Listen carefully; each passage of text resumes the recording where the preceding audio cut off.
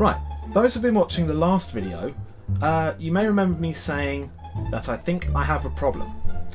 Well, if you're watching this one and you've just seen the title, uh, congratulations, because I really do have a problem. Cue the title card, whatever thing. Just go.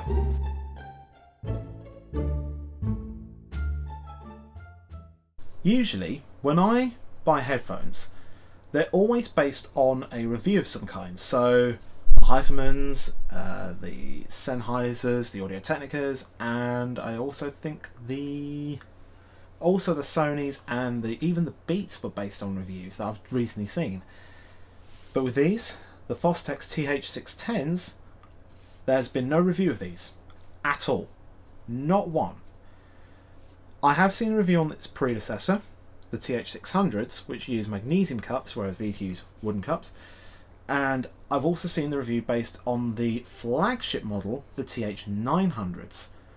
And these are based on the TH900 Mark II, We have the detachable cable. It's all a bit confusing, but I have never listened or even seen these headphones in person before. So, uh, let's get started. So on the outside of the box, um, all you get is branding and photos. Branding, photos, barcode, branding and photo, photo, branding, uh, branding, and nothing. That's it. That's all you get. It doesn't list any of the specs on the outside of this box. So they could be on the inside maybe. So there's only one way to find out. Let's get these open.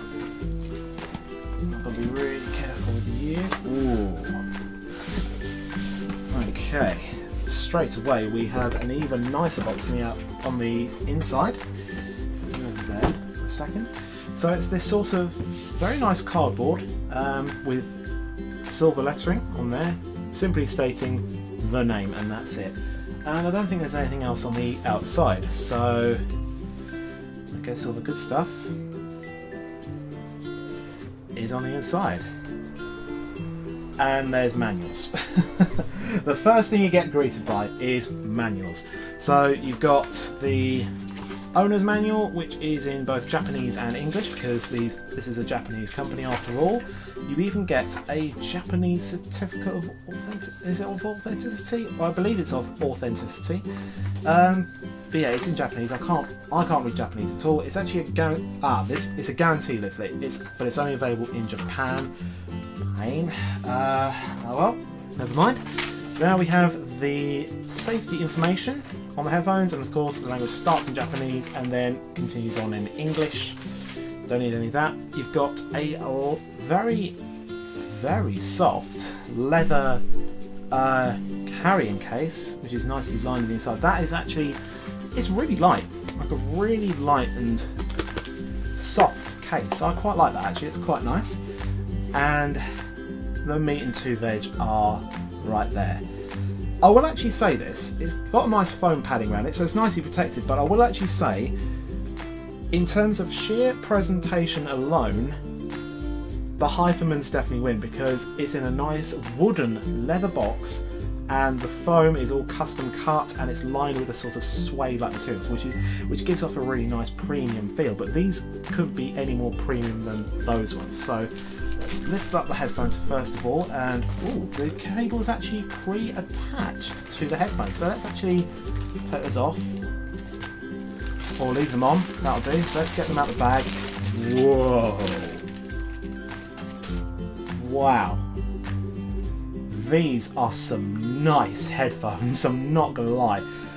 The actual wood is sort of a black uh, walnut finish, or black maple, I think? And it's genuine wood as well. Yeah, that's actually a much more premium feeling product than um, the one I've had before. Now, which way does it go? I think it goes on that way. Uh, where were these made? I'm a bit curious on where these are made actually, so yeah, I can't really see where these are actually made. Are these made in China or made in Japan? Who cares? These are actually really nice. I do like these a lot. So, oh, the cable does break away quite nicely. That's good. So let's pull the cable out gently. Got to really gently pull the cable out of those. Yeah. You know what? I think these are too nice to actually put slap bang on the table. So uh, it's going to be unorthodox, but bear with me. Cloth. So I've got this sort of microstatic duster to keep these on. I will admit, those down for a second. Bag out of the way as well. These actually, the cups actually do feel quite loose. Dare I say that? But from what I've heard, these are one of the most well-built headphones out there. So, oh, I like that. I like the adjustment on that. That's actually really nice. Listen, very nice premium click on the cups there. I like that a lot actually. So let's get it more balance. There you go. Stay steady now. There you go. Right, let's take a look at the cable. So by the looks of it, it's a three meter uh, headphone cable and it uses this new detachable cable system and it's actually keyed as well. So I just noticed that on the right cup, it's red on the inside and for the left cup, it's just black. So you can actually tell you can't actually tell which is which through just looking at the cups alone, but I knew that the red inner bit was on the right hand side. So that is a that is a massive uh, quarter inch connector on that. That is full metal on the outside. Very nice. Very nice feel. And let's take let's take off the uh, good old cable ties as you do. I'm being really careful with these because uh, I know, I know these are, yeah, not gonna lie, these are very, very premium in terms of what they are. So, okay, we've got a really nice, thick, super thick, braided cable. That is a glorious cable. And as I said, these are, this is actually the breakaway uh, connector. So let's actually pop those in. So I can't, I really can't mess this up. So flip them around that way. So we know that that's the right cup, that's the left one. So I don't think it matters which way these goes in. I really don't know. But I've got there's only one way to find out really. So let's just pop. Okay, i I've got to be super careful with this. I've never been more careful with any product I've ever owned before. So that clicks in there and that clicks in. I think these are actually keyed. Yeah, these are actually keyed to go in only one way. So you try and put them in up that way, they will not go in. Put them up that way with the R. They be really careful on this. There's actually an R symbol. It's got to face the other R symbol. So R and R go together. So it actually goes in much nicer. Let me just check the other side very quickly before continuing. Yep, same thing. L has to be the same way up as the other L on the outside of the headphones. And that's how you connect that up. Tell you what, let's try them on. And actually, you're not going to see this. Um, I just want to get a good comfort feel, just so I know what I'm dealing with here in terms of comfort. Okay, um, I've just got to adjust these a little bit. So, adjust them by two by two and put them on my head.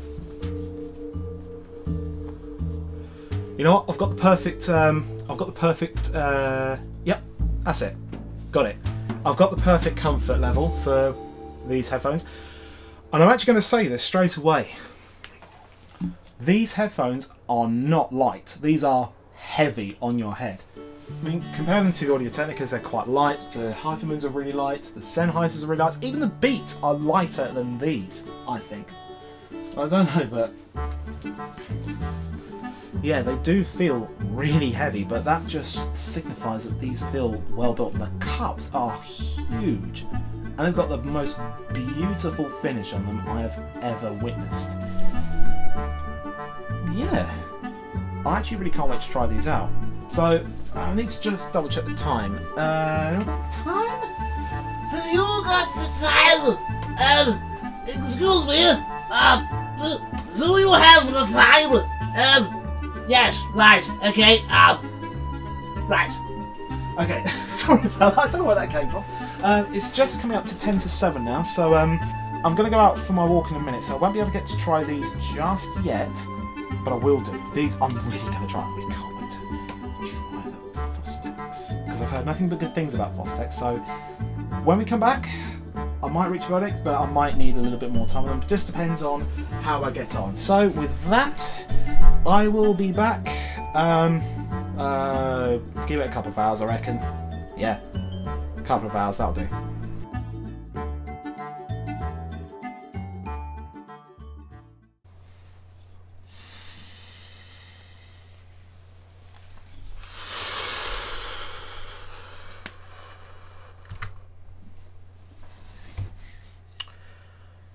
First of all, I need to apologise. That took longer than expected. I started the unboxing on the Friday, and at the moment it is currently Saturday at the time of filming this. So at least I spent a good amount of time with the TH610s. A really good amount of time. And it was just enough for me to reach a conclusion on them. If you remember when I did the unboxing and thoughts video of the HiFiMan HE400Is, I categorically said that they were the best open back headphones that I have ever worn, that I've ever heard, that I've ever even come across. These are the best headphones I've ever used, full stop. In a way I don't really want to say much else to be honest. But I think for the sake of it I've got to because there are a couple of things I do want to mention. And believe it or not, we're going to start with some critical points. Not bad things, just some points that I need to make absolutely clear. Before I do that, let me just unplug these just in case. I'll dangle you down very gently. Um, first of all is the cable. It's a very nice cable, 3 meters, which is great. It only ends in the quarter inch jack, makes it perfect for hi-fi use. You don't really want to use these for portable use, naturally. But the cable on the actual headphone cups are actually very slightly keyed.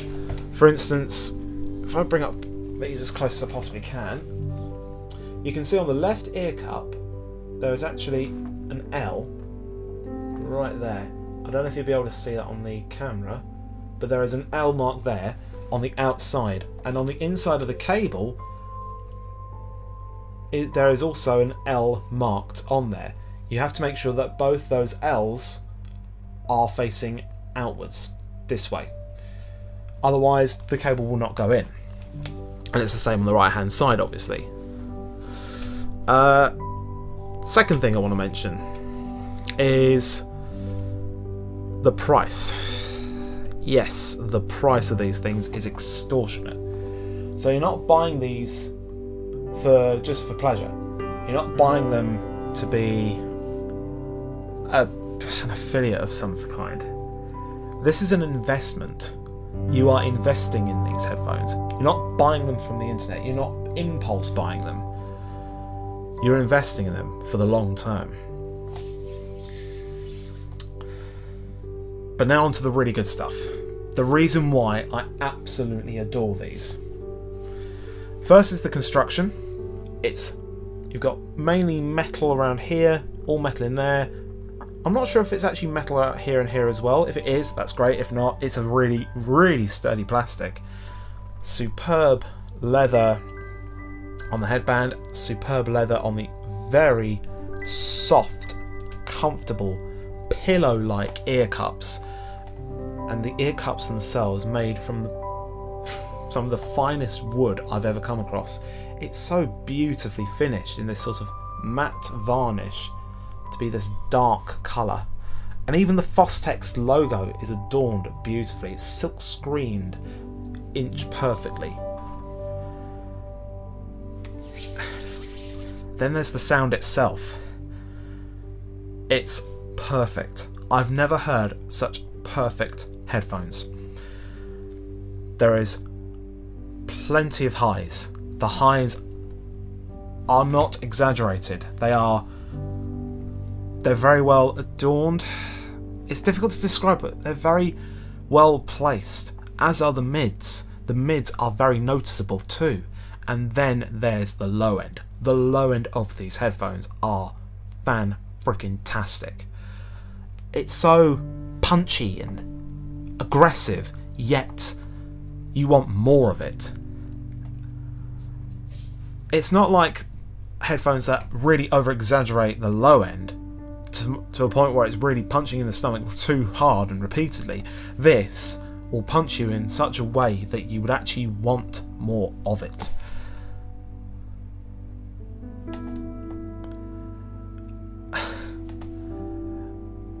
I mean, the things I've obviously done with these. Naturally, I've watched some videos from YouTube, of course. I've also played, most recently, in fact, No Man's Sky. And by the way, by the way, I just got to mention this. If you have not got No Man's Sky yet, my advice is buy it right now. You will not regret it. Okay? Good. Thank you.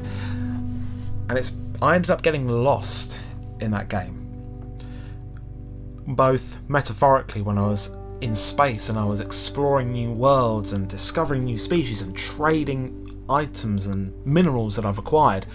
And also literally lost at one point when I was on the planet that I started and I got into a cave and I couldn't find my way out. So I'll digress on that some other time maybe. Um, and then of course there's the music.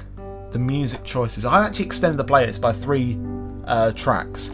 I've added on a bit of music from Abzu, which is another excellent game, by the way. Buy it now. Buy that one too, please. Thank you. Um, and also buy the soundtrack while you're at it, because uh, Austin Wintory really outdoes himself on this soundtrack, and it's very encapsulating. Uh, another track called Checkpoint, which is by Nitro Fun and Hyper Potions, which you'll know where that's actually from. It's really hyper and bouncy and lively and it comes to life through these headphones in particular, as does um, uh, Abzu's soundtrack as well. You hear the violins, you hear the woodwind, you hear, in fact, you would hear the ocean around you. And then, of course, Checkpoint, where it's very lively, bouncy, and then you've got the 16 bit vibes that really set it apart. And yes, I'm going to put hashtag Sonic Mania hype because you know what I mean. And then lastly, I've added on Ludovico Einaudi, E. Giorni, one of my favourite piano pieces. And my god, any genre you throw at these, it's just going to thank you for letting it play. Many people have found their end game product, whether that's to do with uh, computers, a monitor, a TV, home cinema, whatever it is. These are my end game headphones. I can't ask for anything more perfect than these. And I kind of feel bad for Zeos from Z Reviews. Because he's reviewed the predecessors of these, the 600s, and the flagships, the 900s, and even the Massdrop exclusive, the X100s. And now I've got the 610s and I'm going to categorically say this right now.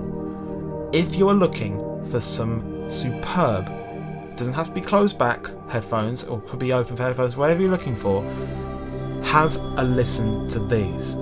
Demo them. Wherever you can find a demo room that has these available, demo them, try them. You will not forget the, the sound experience that Fostex have delivered with these.